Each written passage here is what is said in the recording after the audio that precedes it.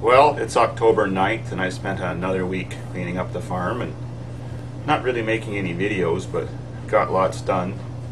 Latest update is there's 49 cars out of there now. Still some more there. I'm keeping some and fighting for them. And, well, there's, I think there's two more going tomorrow on Saturday. So that's more good news for some people. Right, kitty?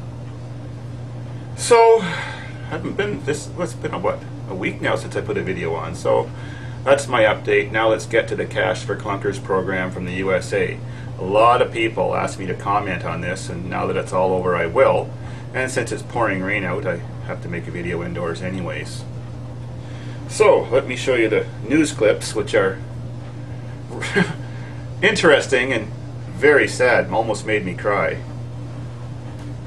I'm uh, backing up my story with a story from the National Post on October 2nd.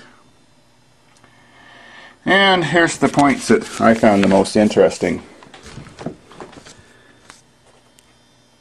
The most common vehicle traded in was Ford Explorers or Exploders, not one of my favorite vehicles.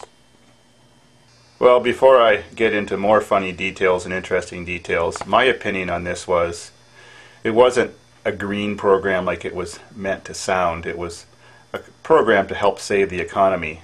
And they're claiming it did save 21,000 jobs, which is probably true. Now that it's over, auto sales fell 25% in the USA. Well, that's a given.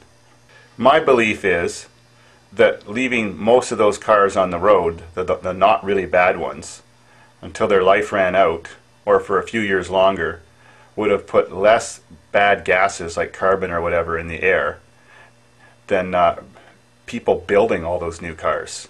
You know, to drive to work to build those cars, all the energy to use to melt the steel, roll it, melt down the vehicles that they traded in, to ship everything across the oceans like the rubber and the plastics and the oils to make that stuff.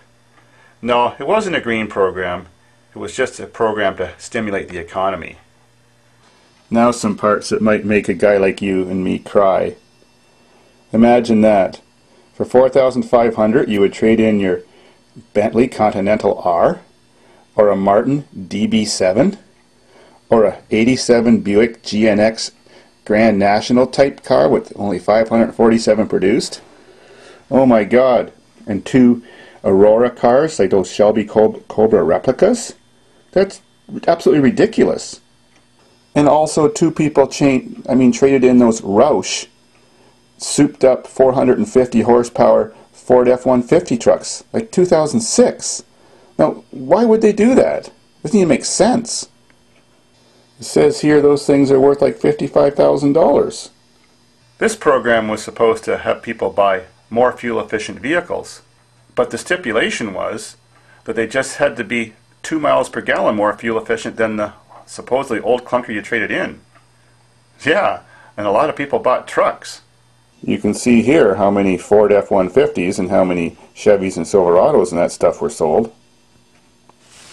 But alas, the number one selling vehicle to this program was a Toyota Corolla. Ah, Toyota's my favorite.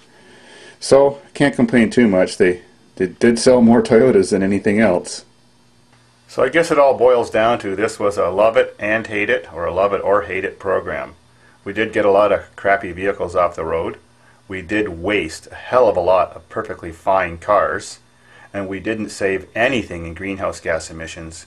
We actually, in the future, eventually cost us more greenhouse gas emissions. We did save some jobs and we did stimulate the economy. So, I guess it's overall sort of a win-win situation, but it wasn't exactly as planned.